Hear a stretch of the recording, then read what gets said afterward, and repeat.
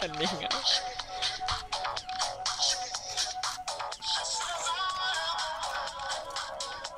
nhìn vào tạc nó bục đổ mày nhìn tay luôn anh nếu không chồng gì đó cái gì mà giờ không người không chọn tao đấy.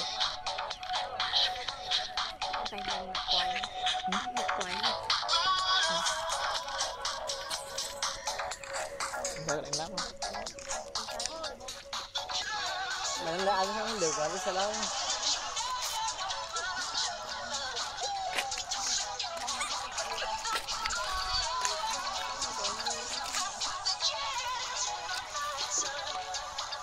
Mày chết rồi.